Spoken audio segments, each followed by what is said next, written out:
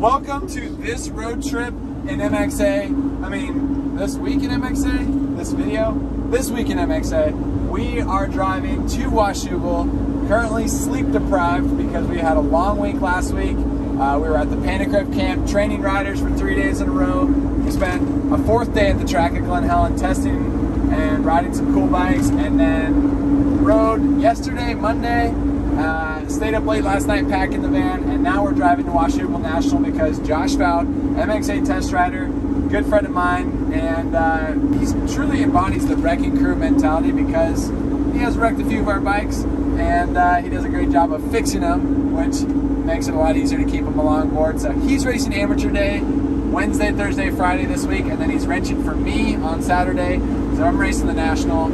Uh, a lot of fun stuff going on. We just tested Antonio Cairoli's bike, and this weekend we're racing the 23 Husky and KTM 450s. Next week we're testing Honda 450 uh, for 2023. There's a lot of stuff going on, but in this video, there is so much news and breaking news really that's going on in the motocross and supercross world. It seems like every day you wake up you see a new press release or a new topic coming out about a rider that's switching teams, a rider that's retired, a rider that's coming out of retirement. And uh, one big topic that we want to touch on in this video, it's not groundbreaking, it's been out for a couple weeks now, but Ken Roczen is racing the World Supercross Championship and it's a three round series for their pilot year. Uh, they're going to Wales and the United Kingdom over in Europe, UK. They're going there first, and then uh, they're going to Australia for a double header, two rounds down in Australia, and then they're going to Indonesia for the third round of uh, this first World Supercross Championship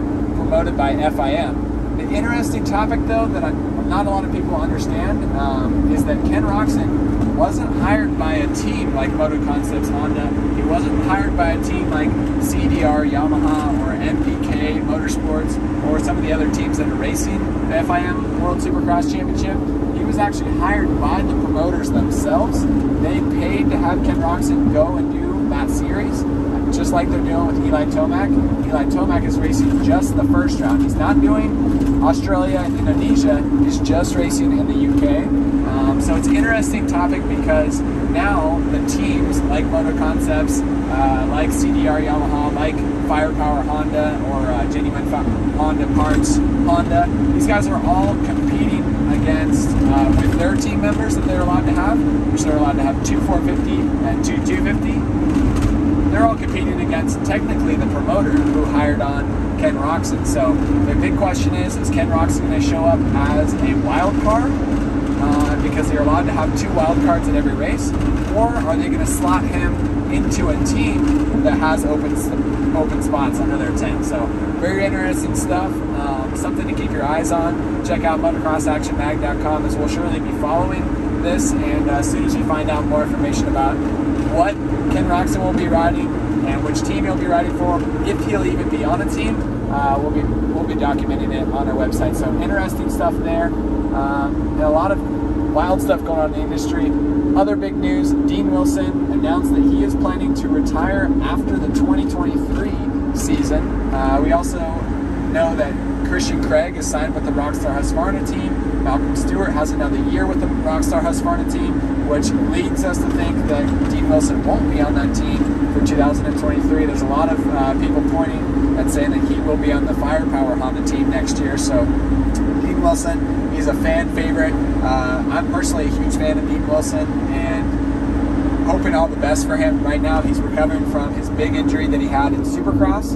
Uh, video that Husqvarna just posted on YouTube and we put on our website shows Dean Wilson's Supercross season. Talks uh, he talks about the injury that he had and uh, what it was like to recover from that. And so at the end of the video, he also talks that he thinks and he's planning on 2023 being his final round of race, uh, final year of racing. So a lot of riders announcing retirement. Also, Alex Martin announced that he's retiring this year after the outdoors. Uh, and then we also have other riders who are coming out of retirement back into racing, like Antonio Cairoli, Cole Seely for World Supercross, Ryan Dungey for the outdoors, and more. So interesting stuff. Um, Dean Wilson, obviously, he can still change his mind. He's got a whole nother year to go. Um, but either way, it'll still be cool to know that Dean Wilson will be racing for at least one more year after this, and I do believe that he'll be racing the last few outdoor rounds as well, probably starting at Unadilla after the pro motocross season takes a two-week break.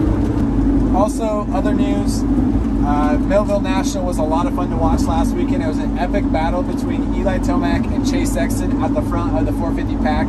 Now, we do have MXA test rider Josh Mosiman joining the series again this weekend at Washougal. And so I'm excited to see, maybe I can get in between Chase Sexton and Eli Tomac, help uh, help the underdog Chase Sexton maybe gain a couple more points back on, on Tomac. We'll see if I can stick it out there on the podium with those guys. But a big topic right now is an interview we have with Roger DeCoster. It's on our website. Jim Kimball did this interview with Roger at the Millville National, and Roger explained that they're looking for a 450 rider to drop down to the 250 class to compete at the Motocross of Nations, a part of Team USA. It's pretty obvious that Chase Sexton and Eli Tomac are the top Americans in the 450 class right now. Next, next up on the list will be Jason Anderson, Justin Barcia, and Christian Craig.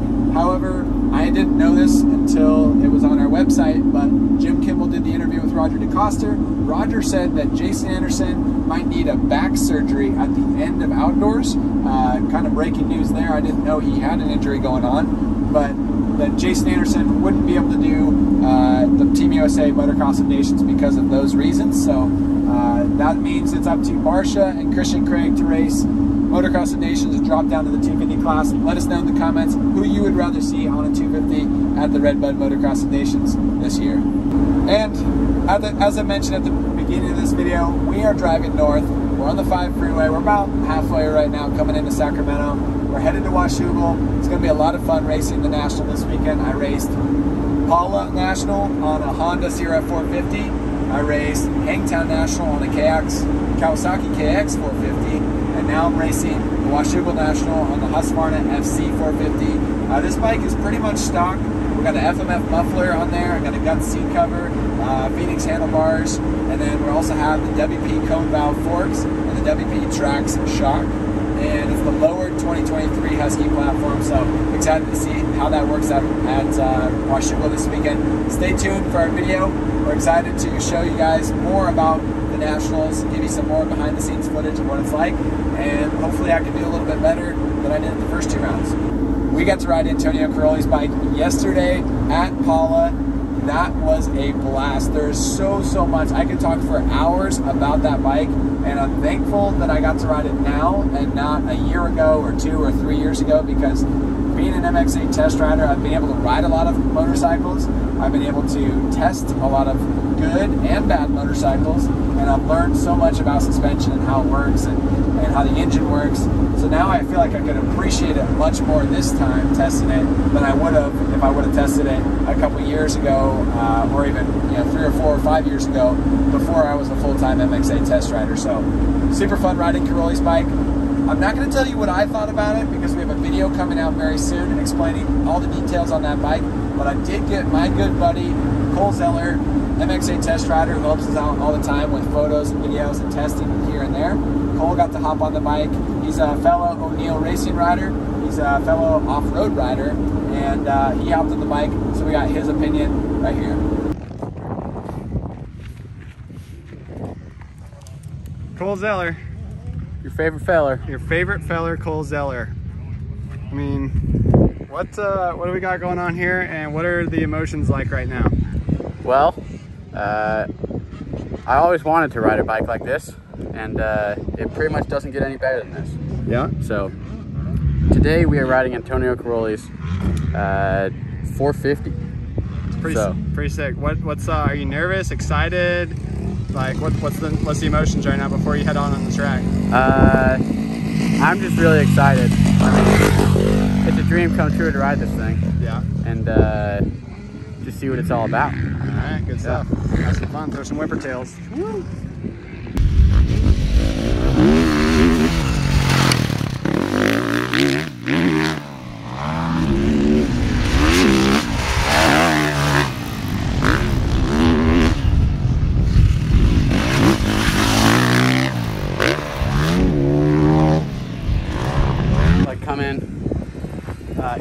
table here. Yeah. And there's like a little square edge at the bottom of it, and it gave the bar a kick. I'm like, not this bike. Yeah.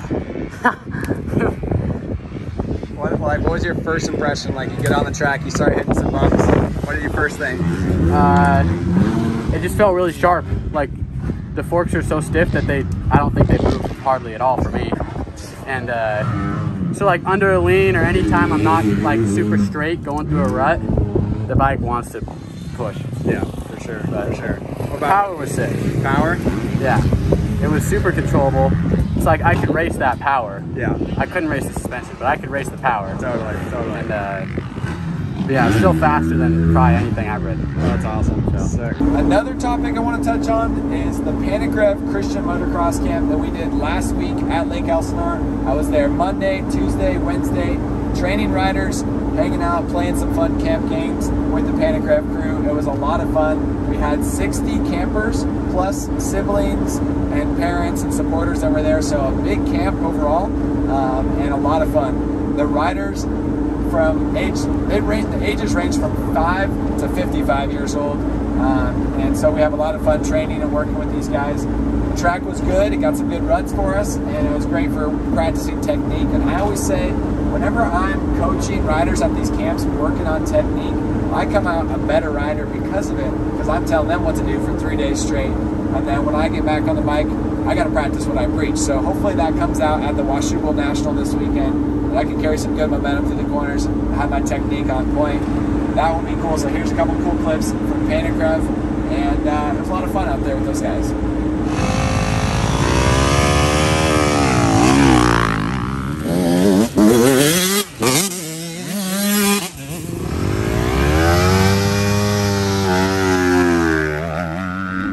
All right, guys, thanks for tuning in to this video. We're sleep deprived currently. I woke up at like 2.30 this morning. Josh drove from Big Bear to my house. He woke up at 1.30 this morning or 1 a.m. And Trevor, I think he was up at like 2 a.m. So sleep deprived. Not sure if, how long we're going to stay on this road, but uh, stay tuned, motocrossactionmag.com for the latest news, reviews, race results, product tests, bike tests, and more. And we'll see you in the next video.